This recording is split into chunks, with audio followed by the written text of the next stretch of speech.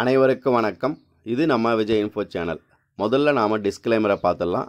நான் வந்து முறையாக அங்கீகரிக்கப்பட்ட ஒரு ஆலோசகரோ மருத்துவரோ கிடையாது. இந்த வீடியோவில் கொடுக்கப்பட்டுள்ளதை நீங்கள் ஃபாலோ பண்ணுறதுக்கு முன்னாடி முறையாக அங்கீகரிக்கப்பட்ட ஒரு ஆலோசகரிடமோ மருத்துவரிடமோ ஆலோசனை எடுத்துட்டு அதுக்கப்புறமா ஃபாலோ பண்ணுங்கள் மேலும் விவரங்களுக்கு இந்த வீடியோவில் கொடுக்கப்பட்டுள்ள நம்பரை தொடர்பு கொள்ளலாம். வாங்க வீடியோக்குள்ளே போகலாம்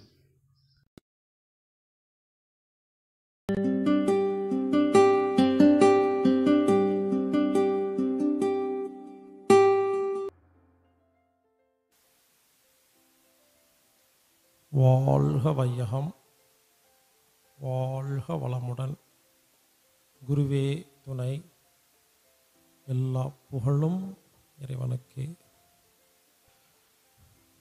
அனைவருக்கும் வணக்கம். நாம் இப்போ பார்க்க போகிறது செவி வழி தொடு சிகிச்சை. இங்கிலீஷில் அனாட்டமிக் தெரப்பின்னு பேர். இது வரைக்கும் நமக்கு ஒரு நோய் வந்தால் என்ன பண்ணுவோம்?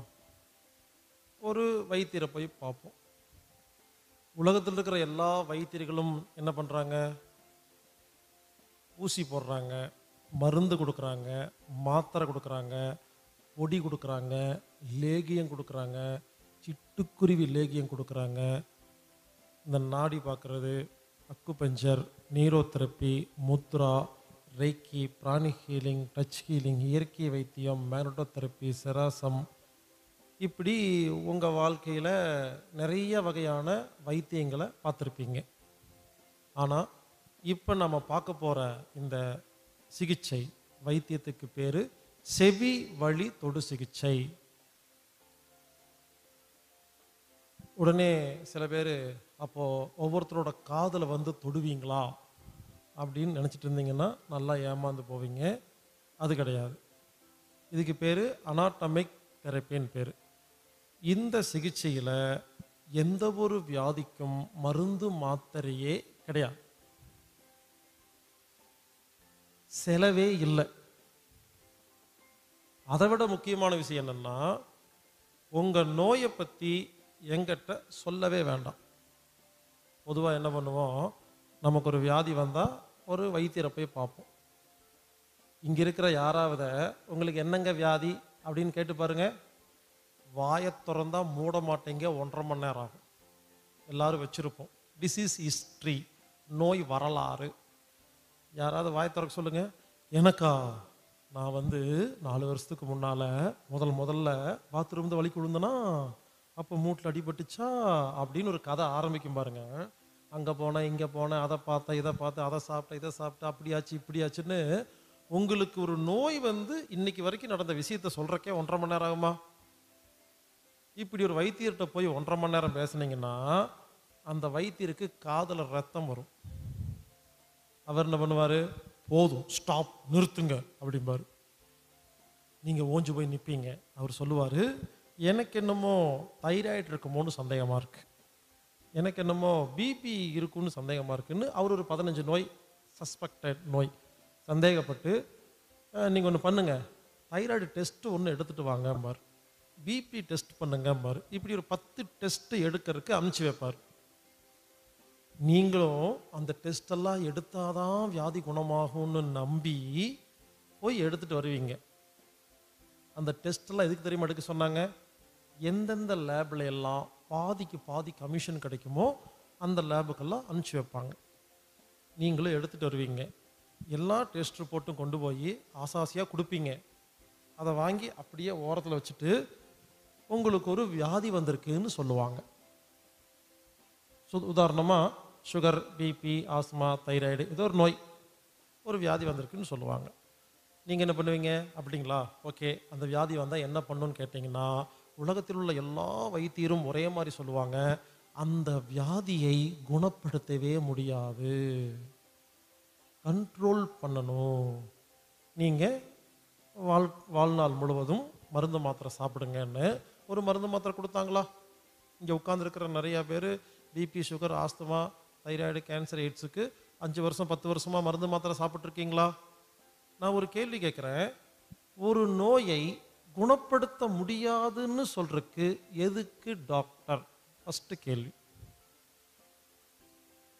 ஒரு நோயை குணப்படுத்தவே முடியாதுன்னு சொல்றதுக்கு எதுக்கு அவ்வளோ தூரம் ஆராய்ச்சி பண்ணி கஷ்டப்பட்டு படிச்சுட்டு வரணும்? தயவுசெய்து புரிஞ்சுக்குங்க.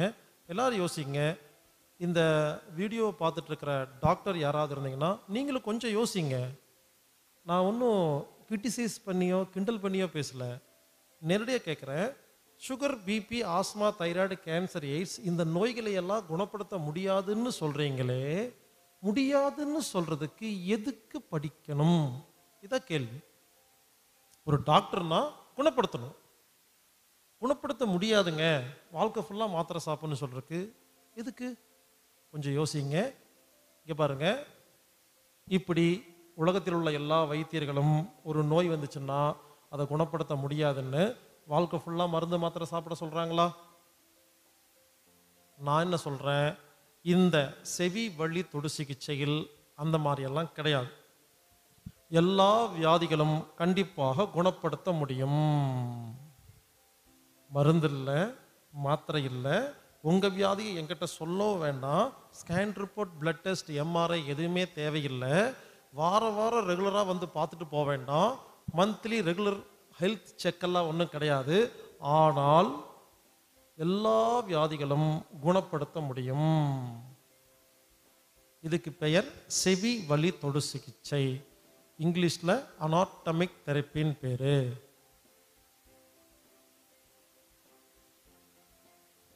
இந்த சிகிச்சை எப்படி அப்படின்னு கேட்டிங்கன்னா சொன்னால் நம்ப மாட்டீங்க. எங்கிட்ட யாராவது சிகிச்சைக்கு வந்தால் நான் என்ன பண்ணுவேன்? இங்கே பாருங்க இந்த மாதிரி உட்காந்துக்குவேன். மைக் பிடிச்சிட்டு. நோயாளி இந்த மாதிரி சேரோ கீழே உட்காந்துக்கணும். சரிங்களா? சொன்னால் நம்ப மாட்டீங்க. ட்ரீட்மெண்ட் எப்படி தெரியுமா? நான் தொடர்ந்து பத்து மணி நேரம் பேசுவேன். இதை அந்த நோயாளி உட்கார்ந்து கேட்கணும். இதுதான் ட்ரீட்மெண்ட் உடனே பல பேர் யோசிப்பீங்க. இந்த கொடுமைக்கு அந்த கொடுமையே பரவாயில்ல போல் இருக்கு. ஏற்கனவே ஏகப்பட்ட நோயில் நொந்து போய் நூடுல்ஸ் ஆகி சிகிச்சைன்னு சொல்லி உங்ககிட்ட வந்தா நீ பத்து மணி நேரம் மைக்கை பிடிச்சி மொக்க போட்டு பேசுவியாமா? நாங்கள்லாம் உட்காந்து கேட்கணுமா? எங்களுக்கு என்ன தலையெழுத்தா? புரிஞ்சுக்குங்க. இது வரைக்கும் யாருமே இந்த மாதிரி வியாதிகளை குணப்படுத்த முடியும்னு சொன்னதே கிடையாதுங்க. புரிஞ்சுக்குங்க. அது என்ன பண்ணுவேன்னு கேட்டிங்கன்னா அதாவது நான் தொடர்ந்து பத்து மணி நேரம் பேசுவேன் இல்லைங்களா? நான் தொடர்ந்து பத்து மணி நேரம் பேசி நான் ஒன்றும் உங்கள் நோயெல்லாம் குணப்படுத்த போகிறதில்ல புரிஞ்சுக்குங்க. நீங்கள் தான் உங்கள் நோயை குணப்படுத்திக்க போகிறீங்க ஒன்றும் இல்லைங்க.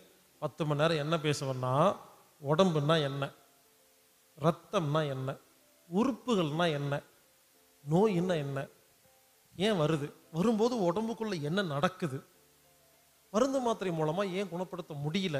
இது வரைக்கும் உலகத்தில் எத்தனையோ வைத்தியங்கள் இருந்து எல்லா வைத்தியத்தினாலையும் ஏன் அவ்வளோ சீக்கிரம் குணப்படுத்த முடியாமல் ரொம்ப கஷ்டப்படுறாங்க? ஏன் கண்ட்ரோல் பண்ணுறாங்க ஏன் வாழ்க்கை ஃபுல்லாக மாத்திரை சாப்பிட சொல்கிறாங்க நமக்கு ஏன் இதெல்லாம் இவ்வளோ கஷ்டம்? அடுத்தது அதை எப்படி எந்த ஒரு மருந்து மாத்திரை இல்லாமல் நமக்கு நாமே குணப்படுத்துதல்? நமக்கு நாமே நமக்கு ஒரு வியாதி வந்தால் நமக்கு நாமே எப்படி குணப்படுத்திக்கிறது? அப்படிங்கிறது உங்களுக்கு சொல்லி கொடுக்கறதுக்கு பத்து மணி நேரம் ஆகுது. புரிஞ்சுக்குங்க? எனக்கு என்னமோ புரிஞ்சு போச்சுங்க. இங்கே பாருங்க. எனக்கு எந்த வியாதி வராதுங்க. வந்தால் டாக்டர்கிட்ட போக மாட்டேன். நான் எனக்கு நானே குணப்படுத்திக்குவேன். அப்போ எனக்கு என்னமோ தெரிஞ்சிருக்கா? அப்போது எனக்கு தெரிஞ்ச அந்த ரகசியங்களை அந்த வித்தைகளை உங்களுக்கு சொல்லி கொடுக்கறதுக்கு ஒரு பத்து மணி நேரம் ஆகுது. அப்போ நீங்கள் செய்ய வேண்டியது என்னென்னா ஒரு பத்து மணி நேரம் உட்காந்து நான் பேசுறதை கேட்கணும். சில பேர் பேசியே கொல்லுவாங்க நாம் பேசியே குணப்படுத்துகிறோம் அவ்வளோதான் உங்களுக்கு என்ன? நோய் குணமானா போதுமா இல்லையா? மருந்து மாத்திரை சாப்பிட்டு தான் குணப்படுத்திக்குவேன்னு ஏன் அடம் பிடிக்கிறீங்க? நமக்கு தேவை நோய் குணமாகணும் அவ்வளோதானே அப்போது அது என்னன்னு கேட்டு தான் பாருங்களே. பாருங்க எந்த ஒரு ஆப்ரேஷன் கிடையாது. பணம் கேட்கல மருந்து மாத்திரை கொடுக்கல ஒன்றுமே இல்லை. நான் பேசுறத நீங்கள் கேட்கணும். அவ்வளோதான் புரிஞ்சுக்கங்க. எனக்கு என்னமோ ஒரு வித்தை தெரிஞ்சு போச்சு. அந்த வித்தை உங்களுக்கு தெரிஞ்சு போச்சுன்னா நீங்கள் உங்களை நீங்களே குணப்படுத்திக்கலாம். அதனால் தயவுசெய்து புரிச்சுக்கங்க செவி வலி தொடு சிகிச்சைன்னா என்னன்னா நமக்கு வரும் நோய்களை நாமளா எப்படி குணப்படுத்திக்கிறது அப்படிங்கிற ரகசியத்தை கற்றுக்கிறதுக்கான ஒரு விஷயமே தவிர இங்கு நான் ஒன்றும் உங்கள் நோயை குணப்படுத்த போகிறதில்ல நீங்கள் தான் உங்கள் நோயை குணப்படுத்திக்க போகிறீங்க ஒன்றும் இல்லைங்க. இதில் எந்தெந்த நோயெல்லாம் குணமாகும்னு சொல்லிடுறேன். முடி கொட்டுதல் தலைவலி ஒத்த தலைவலி ரெட்ட தலைவலி மைக்ரேன் வெள்ளை முடி கிட்டப்பார்வை தூரப்பார்வை குளுக்கோமா கண்ணில் புற வருது. கண்ணு சம்பந்தப்பட்ட எல்லா வியாதிகளும் காது சம்பந்தப்பட்ட எல்லா வியாதிகளும் மூக்கு சம்பந்தப்பட்ட ஆஸ்மா வீசிங் நெஞ்சு சளி நிமோனியா சைனஸ் அலர்ஜி இதெல்லாம் நுரையீரல் மூக்கு சம்பந்தப்பட்ட எல்லா வியாதிகளும் பல்லு சம்பந்தப்பட்ட எல்லா பிரச்சனைகளும் திக்குவாய் டான்சில் தைராய்டு இதையெல்லாம் இந்த சிகிச்சை மூலமாக குணப்படுத்த முடியும். இருதய சம்பந்தப்பட்ட ஹார்ட் அட்டாக்கு ஹார்ட் வால் விரிஞ்சிருச்சு வீங்கிருச்சு ஓட்டை உழந்துருச்சு பிபி ஹைப்பர் டென்ஷன் இதெல்லாம் சரி பண்ணலாம். வயிறு சம்பந்தப்பட்ட அஜீரண கோளாறு ulcer irritable bowel syndrome gastric trouble எதுக்களிக்குது acidity இந்த மாதிரி வயிறு சம்பந்தப்பட்ட எல்லாத்தையும் சரி பண்ணலாம். கிட்னியில் கல் யூரினரி பிளேட்டரில் கல் சிறுநீரக கல் மூத்திரப்பையில் கல் கால் பிளேட்டர் ஸ்டோன் பித்தப்பையில் கல் கருப்பை சம்பந்தப்பட்ட எல்லா வியாதிகளும் பெண்களுக்கு உண்டான மென்சஸ் பீரியட் அந்த மாதவிடாய் சம்பந்தப்பட்ட எல்லா பிரச்சனைகளையும் தீக்கலாம் வெள்ளைப்படுதல் இர்ரெகுலர் பீரியட்ஸ் கருப்பையில் கட்டி இந்த மாதிரி கருப்பை சம்பந்தம் எல்லாமே குழந்தையின்மை எல்லாம் சரி பண்ணலாம். அடுத்து ஆண்மை குறைவை சரி பண்ணலாம். அப்புறம் எலும்பு சம்பந்தப்பட்ட முதுகு வலி மூட்டு வலி இடுப்பு வலி சர்வைக்க ப்ராப்ளம் ரொமட்டட் ஆத்ரட்டிஸ் ஆத் ஆத்ரட்டிஸ் சம்மந்தப்பட்ட எல்லாமே osteoporosis osteo pakoda osteo laddu ஆல்சியோ இந்த மாதிரி ஆஸ்டியோங்கிற பேரில் ஏகப்பட்டு வச்சுருப்பாங்க. கொஞ்சம் கொஞ்சமாக கடைசியாக பேரை மாற்றி வச்சுருப்பாங்க. ஒன்றுமே புரியாது. இப்படி எல்லா ஆஸ்டியோ சம்மந்தப்பட்ட ரொமேட்டட் ஆத்ரட்டிஸ் சம்மந்தப்பட்ட எல்லாமே. அப்புறம் skin disease skin disease psoriasis eczema தோல் சம்மந்தப்பட்ட எல்லா வியாதிகளையும் குணப்படுத்தலாம். மூட்டு வலி முழங்கால் வலி இடுப்பு வலி தலைவலி எல்லாம் சரி பண்ணலாம். உள்ளங்கால் குத்துது குடையுது எரியுது வலிக்குது. நகம் உடையிறது. அதுக்கப்புறம் ஞாபக மறதி.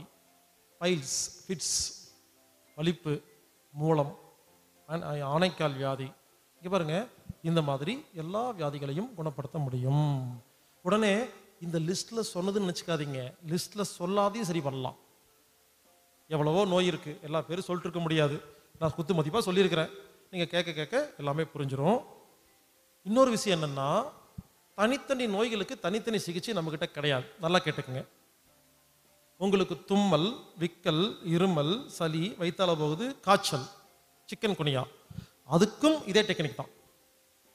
அதாவது ரொம்ப சிம்பிளாக சொல்கிறேன் யாருக்காவது வியாதி இருந்தால் நீங்கள் நான் பேசும் பொழுது உங்கள் வியாதியை பற்றி எப்போ பேசுகிறேன்னு கேட்கக்கூடாது.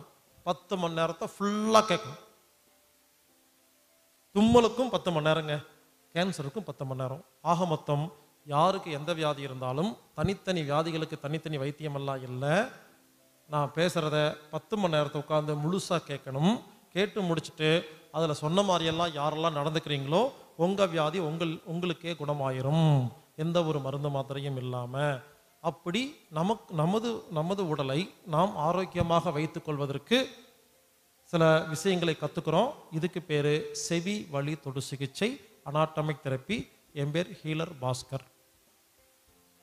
அதனால் நீங்கள் செய்ய வேண்டியது என்னென்னா பொறுமையாக உட்காந்து நான் பேசுகிறத உட்காந்து கேட்கணும். வேறு ஒன்றுமே இல்லைங்க. பாருங்க எனக்கு தான் கஷ்டம். யோசிச்சு பாருங்கள் பத்து மணி நேரம் மைக்கு பிடிச்சி பேசு பேசுன்னு பேச போகிறேன் யோசிச்சு பாருங்க எவ்வளோ கஷ்டம் இருக்குன்னு? உங்களுக்கு ஏதாவது கஷ்டம் இருக்கா? அப்படியே ஜாலியாக உட்காந்து பாருங்கள் தனித்தனி பாய் கொடுத்துருக்கோம். ஜாலியாக உட்காந்து நீங்கள் பாட்டுக்கு நான் பேசுகிறத கேட்கணும் அவ்வளவுதான். நான் பேசும்போது ரொம்ப இன்ட்ரெஸ்டிங்காக இருந்தால் கேட்டுட்டு உட்காருங்க. ரொம்ப போர் அடிக்கிற மாதிரி இருந்தால் தூங்குங்க யார் வேண்டான்னா. ஆனால் ஒரே ஒரு கண்டிஷன் கொரட்டை மட்டும் விட்டு மற்றவங்கள டிஸ்டர்ப் பண்ணாதீங்க. அவங்க மற்றவங்க கேட்குறாங்களா இல்லையா? நீங்கள் உங்கள் வேலையை பாருங்கள் நான் என் வேலையை பார்க்குறேன் ஸோ அதனால் நான் பேசுகிற ஒவ்வொரு வார்த்தையும் கவனித்து மெதுவாக கேளுங்க. அதுக்கு ஒரு சின்ன உதவி செய்யுங்க. செல்ஃபோன் இருந்தால் சைலண்ட்டில் போட்டுருங்க. இல்லை சுவிட்ச் ஆஃப் பண்ணிடுங்க நானும் ஒவ்வொரு மீட்டிங்கும் சொல்லிக்கிட்டே இருப்பேன். ஆனால் பல திமிரு பிடிச்ச செல்ஃபோன்கள் அடிக்கடி அங்கங்கே அடிக்கும். நான் திமிருன்னு சொன்னது செல்ஃபோனுக்கு பிரேக் டைமில் செல்ஃபோன் நீங்கள் பேசிக்கலாம். கிளாஸ் நடக்கும்போது ஆஃப் பண்ணி வைங்க. இல்லைன்னா சைலண்டில் வச்சுருங்க. நான் மறுபடியும் சொல்கிறேன் இந்த சிகிச்சையில் எந்த ஒரு மருந்து மாத்திரையும் கிடையாது. நான் ஏன் தெரியுமா திரும்ப திரும்ப மருந்து மாத்திரை இல்லைன்னு சொல்கிறேன் ஒரு அஞ்சு வருஷத்துக்கு முன்னால் கோயம்புத்தூரில் குனிமுத்தூரில் ப்ரோக்ராம் பண்ணேன். காலைல பத்து மணிக்கு மைக்கு பிடிச்சேங்க. சாயந்தரம் நாலு மணி வரைக்கும் பேசினேன். யோசிச்சு பாருங்க ஒரு முந்நூறு பேர் வந்திருந்தாங்க. எல்லாம் பேசி முடித்து இவ்வளோ தாங்க நான் சொன்ன மாதிரி செஞ்சால் உங்கள் வியாதி நீங்களே குணமாயிரும். அவ்வளவுதாங்கன்னு கஷ்டப்பட்டு கத்து கத்துன்னு கத்தி அப்பெல்லாம் மைக் கூட இருக்காது.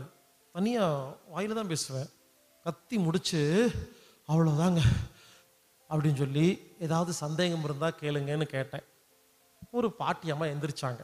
எனக்கு ஒரே சந்தோஷம். ஓ பாட்டிக்கு சந்தேகமா? ஏப்பா அந்த பாட்டியை பேச சொல்லுங்கப்பா அப்படின்னு. அந்த பாட்டி என்ன தெரியுமா எந்திரிச்சு கேட்டாங்க? இப்போ என் மண்டைக்குள்ள ஒழிச்சுக்கிட்டே இருக்குது. அந்த பாட்டி எந்திரிச்சு ஒரு கேள்வி கேட்டாங்க பாருங்க. தம்பி காலையிலேருந்து பார்க்குற நீயே பேசிட்டு இருக்கிறியே டாக்டர் எப்போ வருவாங்கன்னாங்க. அப்புறம் தான் புரிஞ்சுது சிலதுக்கெல்லாம் என்ன சொன்னாலும் புரியாது. இங்க பாருங்க இன்னைக்கு இந்த கிளா கேம்ப் முடிச்சு வீட்டுக்கு போகும்போது தம்பி நீயே பேசிட்டு இருந்தியே டாக்டர் எங்கன்னு கேட்டக்கூடாது அதனால பேசுற ஒவ்வொரு வார்த்தையும் கவனமா கவனிங்க. சர்க்கரை வியாதிகள் இருக்கிறவங்க யாராவது இருந்தீங்கன்னா பொதுவாக என்ன சொல்லுவாங்க? இனிப்பு சாப்பிடக்கூடாதுன்னு சொல்லுவாங்க. நான் பேசுகிறத முழுசாக கேட்டு முடித்த அடுத்த நிமிஷம் இனிப்பு சாப்பிட்லாம் ஒன்றுமே ஆகாது கேரண்டி பிபி உள்ளவங்க உப்பு சாப்பிடக்கூடாதுன்னு சொல்லுவாங்க. இல்லையா? நான் பேசுகிறத கேட்டு முடிச்சோடனே சாப்பாட்டில் உப்பு போட்டு சாப்பிட்லாம் ஒன்றும் ஆகாது. கத்திரிக்காய் சேர்த்திக்காதங்க தோல் நோய் வேறு சொல்லுவாங்களா? தாராளமாக சாப்பிட்லாம். இங்க பாருங்க நான் பேசி முடிச்ச உருளைக்கிழங்கு சாப்பிட்டா கேஸ் வந்துடும் சொல்லுவாங்களா? இனிமேல் யாருக்காவது கேஸ் ட்ரபிள் இருந்தால் மூணு நேரம் உருளைக்கிழங்கு போண்டா சாப்பிட்டாலும் ஒன்றும் ஆகாது. இப்படி எதையெல்லாம் சாப்பிட வேண்டாம்னு சொன்னாங்களோ அதையெல்லாம் சாப்பிட்டே நாம் குணமாகலாம். ஆச்சரியமாக இருக்கும். அதனால் ஒவ்வொரு வார்த்தையும் கவனிங்க. நான் மறுபடியும் சொல்கிறேன் இந்த சிகிச்சையை நாம் பேசுகிறத ஆரம்பத்திலேருந்து கடைசி வரைக்கும் கேட்டால் மட்டும்தான் புரியுமே தவிர நடுவில் நடுவில் கொஞ்சம் கொஞ்சமாக கேட்கறது பார்க்குறது இவங்களுக்கெல்லாம் புரியாது. அதனால் முழுசாக கவனிக்கணும். முழுசாக கவனிச்சுட்டு நான் சொல்கிற மாதிரியெல்லாம் செஞ்சிங்கன்னா உங்களுக்கு உள்ள வியாதி தானாக குணமாகும். மருந்து மாத்திரையை உடனே நிறுத்தக்கூடாது. நான் சொல்கிறதெல்லாம் கேட்டுட்டு எப்போ ஃபாலோ பண்ண ஆரம்பிக்கிறீங்களோ உங்கள் மருந்து மாத்திரையை சுகர் பிபி ஆஸ்துமா தைராய்டுக்கு யாரெல்லாம் மருந்து மாத்திரை சாப்பிட்றீங்களோ அந்த மருந்து மாத்திரையை கொஞ்சம் கொஞ்சமாக நிறுத்தணும் ஸ்டெப் பை ஸ்டெப்பாக முதல் மாதம் அதே மருந்து சாப்பிடணும் அடுத்த மாதம் முக்காவாசி அடுத்த மாதம் பாதி அடுத்த மாதம் கால்வாசி அடுத்த மாதம் ஜீரோ பண்ணணும் இப்படி ஒவ்வொரு மாதமும் ஸ்டெப் பை ஸ்டெப்பாக கம்மி பண்ணி ஒரு ஆறு மாதத்துக்கு மெதுவாக ரெடியூஸ் பண்ணி அப்புறம் தான் மருந்து மாத்திரை நிறுத்தணும். திடீர்னு உடனே நிறுத்தக்கூடாது. அதனால் நான் பேசுகிறத இங்கே பாருங்கள் ஒன்றுமே இல்லை. பேசுகிறத கேட்கணும் அவ்வளோதான் இதை விட சிம்பிளாக யார் வைத்தியம் சொல்ல முடியும்? நமக்கு வெப்சைட் இருக்கு. W W W dot anatomic therapy dot ORG ANA DOMIC THERAPY dot O R G இந்த வெப்சைட்டில் நான் பேசின விஷயங்கள் தமிழ் தெலுங்கு கன்னடம் மலையாளம் ஹிந்தி மலாய் உருது இங்கிலீஷ்னு ஏழு லாங்குவேஜில் ஆடியோ வீடியோ புக் எல்லாமே ஃப்ரீ டவுன்லோட் யாருக்கு வேணுமோ அந்த வெப்சைட்டில் போய் கம்ப்ளீட்டாக டவுன்லோட் பண்ணி முழுசாக உட்காந்து வீட்லேயே பார்த்துக்கலாம். இந்த சிகிச்சை யாருக்காவது வேணும்னா என்னை நேரில் தான் பார்க்கணும் அவசியம்லாம் கிடையாது. வெப்சைட்டில் போய் கம்ப்ளீட்டாக டவுன்லோட் பண்ணி ஃபுல்லாக பார்க்கணும். பார்க்கும்போது இந்த செல்ஃபோனில் பேசிகிட்டே பார்க்கக்கூடாது வீட்டு வேலை செஞ்சுட்டுலாம் பார்க்கக்கூடாது. ஒரு ட்ரீட்மெண்ட் போனால் என்ன பண்ணுவோம்? முழுசாக பார்ப்போம் இல்லையா? அந்த மாதிரி பார்க்கணும். பல பேர் எனக்கு ஃபோன் பண்ணி சொல்கிறாங்க உங்களோட வீடியோவெல்லாம் யூடியூப்பில் பார்த்துட்டேங்க. அவங்க வீடியோவெல்லாம் வீட்டில் பார்த்துட்டேன். ஆனால் ஒன்றும் சரியாகலைன்னு சொல்கிறாங்க புரிஞ்சுக்குங்க. வீட்டில் பார்க்குறக்கும் நேரில் வரக்கும் வித்தியாசம் இருக்குது வீட்டில் என்ன பண்ணுவோம்? டிவி போட்டு பார்த்துட்டே இருப்போம். ஒரு காலிங் பெல் அடிக்கும். உடனே என்ன பண்ணுவோம்? டிவி டிவி இது பாஸ் போட மாட்டோம். அப்படியே காலிங் பெல் அடித்து போய் பேசிட்டு வருவோம். ஒரு பத்து நிமிஷம் பேசிட்டு வந்துருமா பத்து நிமிஷம் சப்ஜெக்ட் மிஸ் ஆகிடும் அப்போ உங்களுக்கு புரியாது. நீங்கள் நினச்சிட்டு இருக்கீங்க எல்லாம் பார்த்துருப்பீங்கன்னு. பத்து நிமிஷம் புரியலன்னா மொத்தம் புரியாமல் போயிடும் அதனால் புக்கு படிக்கும் பொழுது ஆடியோ கேட்கும் பொழுது வீடியோ கேட்கும் பொழுது ஃபுல்லாக கேளுங்க. தனித்தனியாக கேட்க வேண்டாம். மறுபடியும் சொல்கிறேன் எங்கிட்ட எந்த ஒரு மருந்து மாத்திரையும் கிடையாது. பொடி லேகியம் அதெல்லாம் கிடையாது. ஆனால் சிலர் என் பேரை சொல்லி பொடி லேகியங்கள் வித்துட்ருக்குறாங்க இங்கே பாருங்கள் மருந்து மாத்திரையே வேண்டாம் அப்படின்னு சொல்கிற என் பேரை பயன்படுத்தி சில பேர் மருந்து வைக்கிறாங்கன்னா யோசிச்சு பாருங்க. வினை விதைத்தவன் வினை அறுப்பான் திணை விதைத்தவன் திணை தான் அறுப்பான். அந்த ஒரு வார்த்தையோடு முடிச்சுக்கிறேன். இன்னொரு முக்கியமான விஷயம் இந்த சிகிச்சை இப்படி சாதாரணமான சிகிச்சை கிடையாது. இது பலவிதமான பலவிதமான டிஸ்டர்பன்ஸ் மருந்து மாத்திரை கம்பெனிகள் அரசியல்வாதிகள் அதிகாரிகள் இப்படி எல்லாருமே பலவிதமான டிஸ்டர்பன்ஸ் கொடுத்தும் அதையெல்லாம் உடச்சி நாம் இப்போது இந்த சிகிச்சையை நம்ம பண்ணிகிட்ருக்குறோம் இல்லைன்னா அவ்வளோ சாதாரணமான விஷயம் இல்லை. ஏன்னா நான் பேசுகிறத கேட்ட யாராக இருந்தாலும் மருந்து மாத்திரைக்கு பக்கம் போக மாட்டாங்க. அப்போது உலகத்தில் நடக்கிற கோடிக்கணக்கான வியாபாரமான மருந்து மாத்திரை கம்பெனி அவங்க லாபத்தை இழக்கிறாங்க அப்படிங்கும் பொழுது அவங்க ஏதாவது பண்ணி இதை வந்து மக்களுக்கு கிடைக்கூடாதுங்கிறதுக்கு எவ்வளவோ முயற்சிகள் பண்ணாங்க. இருந்தாலும் நாம் நல்ல காரியத்தை ரொம்ப சிறப்பாக பண்ணிட்டு இறை அருளோட பலவிதமான பிரச்சனைகளை தீர்த்து இப்போது சிறப்பாக நல்லபடியாக போயிட்டுருக்குது. அதுக்கு பொதுமக்கள் நிறைய பேர் உதவி செஞ்சுருக்காங்க. அனைவருக்கும் நன்றி.